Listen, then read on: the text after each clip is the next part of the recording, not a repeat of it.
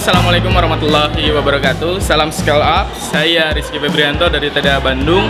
Mohon doa restunya saya akan mempresentasikan The Jahit, aplikasi pertama konveksi di Indonesia.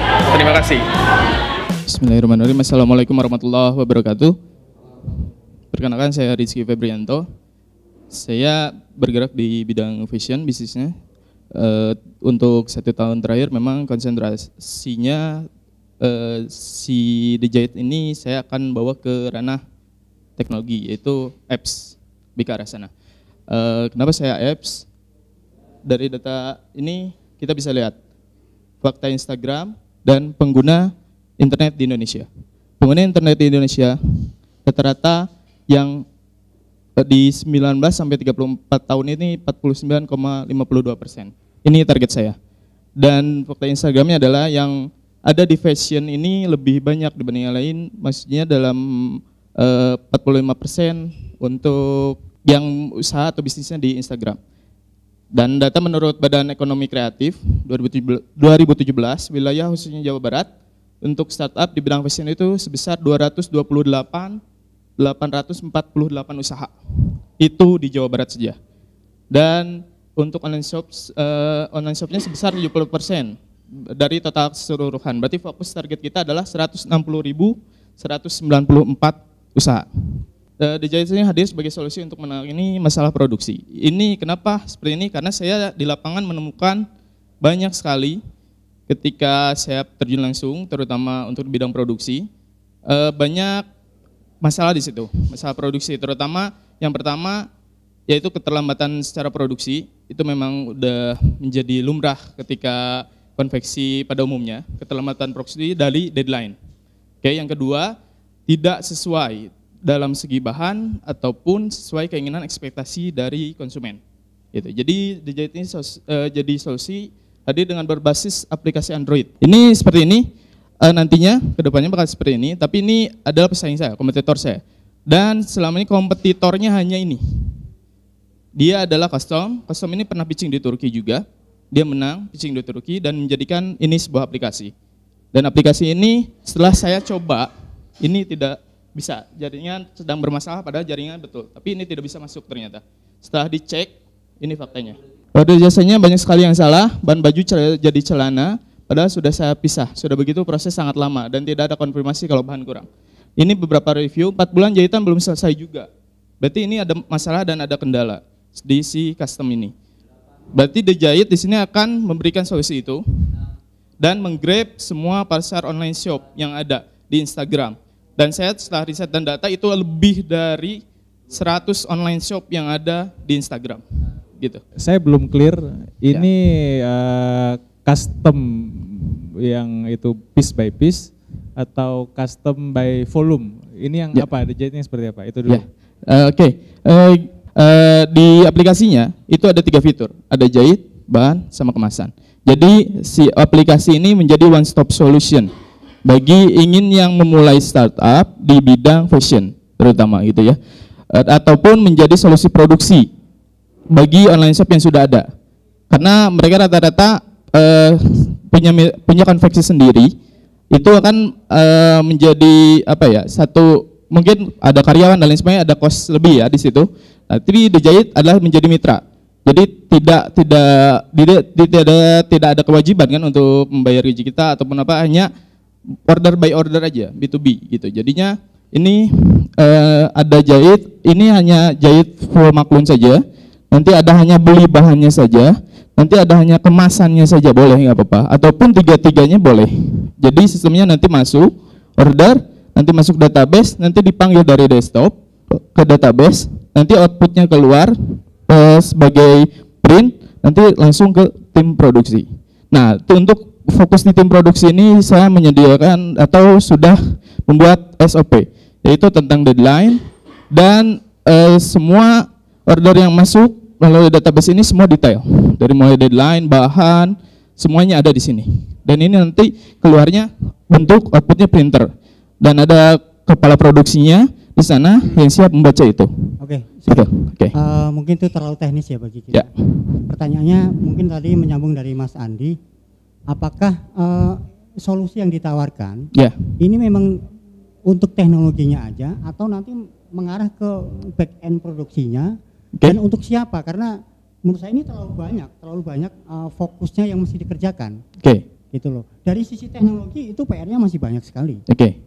Belum nanti dari sisi back end si apa si vendornya. Kalau Oke. memang mau masuk ke sana. Oke. Itu problem lagi nanti. Jadi Oke. menurut saya ini mesti clear dari sisi mana yang mau di di di solve problemnya gitu loh. Oke, untuk solve problemnya adalah jadi begini Pak, Eh si DJS ini sebenarnya jadi mitra konveksi juga.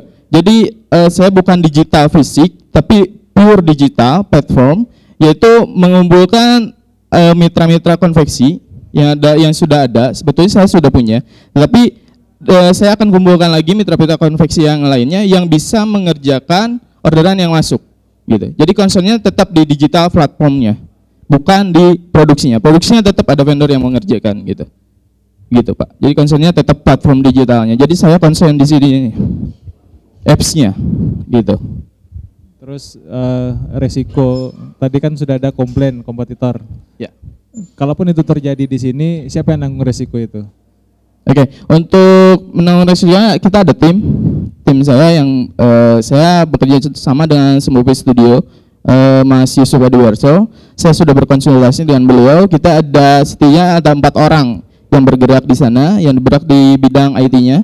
Ada Mas Yusuf sendiri dan timnya yang di bawahnya. Ada empat orang juga di sana. Jadi totalnya lima orang, yang satu eh, leadernya Mas Yusuf dan saya di bagian tim produksinya gitu. Yang penggeraknya motornya gitu maksudnya. Ini order. Per order bukan bukan per order by order satu enggak. Tapi satu perusahaan yang masuk itu kan bisa dikalikan dari berapa order piece gitu. Jadi kita punya eh, eh, gitu. Finalnya di 16 perusahaan gitu.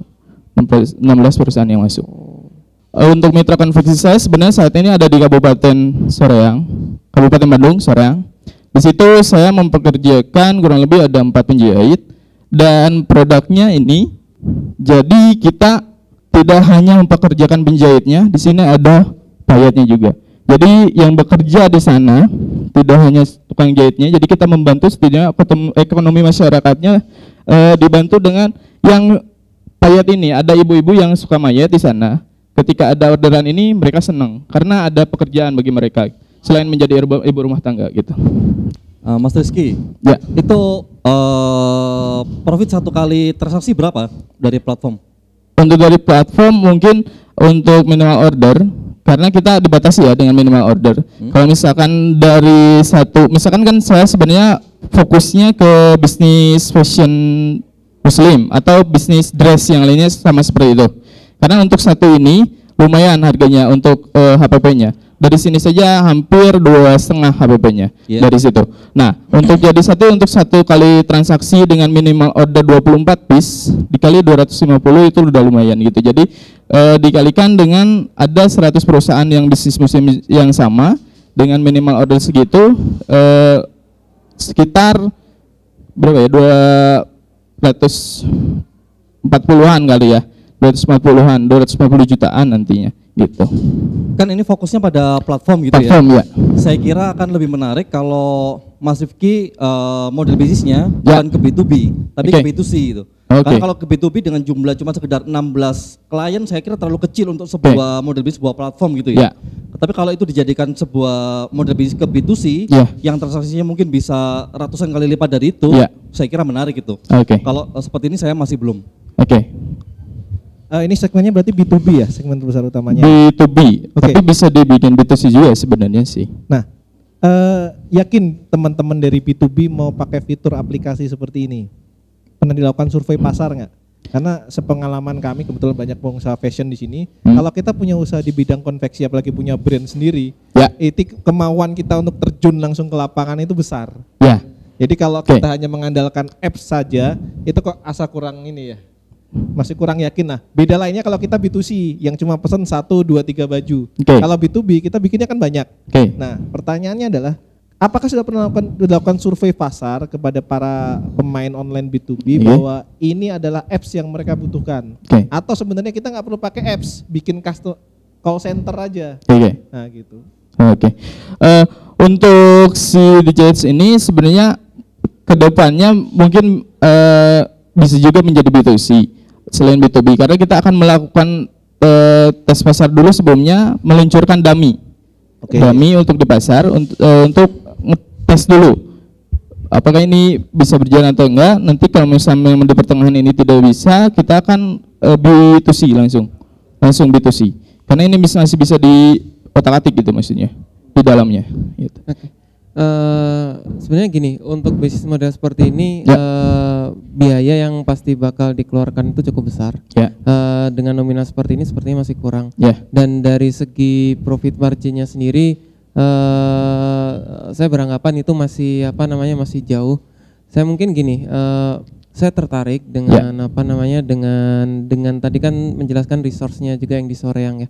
Cuma nanti eh, bisnis modelnya dirubah dan mungkin eh, kebetulan saya juga punya perusahaan di IT, kita Ya. bisa kolaborasi di sana. Boleh, ya mas. Baik. Terima kasih mas. ya, baik terima kasih untuk para investor. Mohon sekian, saya ucapkan terima kasih atas masuk-masukannya semuanya dan ini akan menjadi eh, bahan evaluasi kita, terutama untuk final projection dan lain sebagainya ke depannya. Baik, terima kasih. Assalamualaikum warahmatullahi wabarakatuh.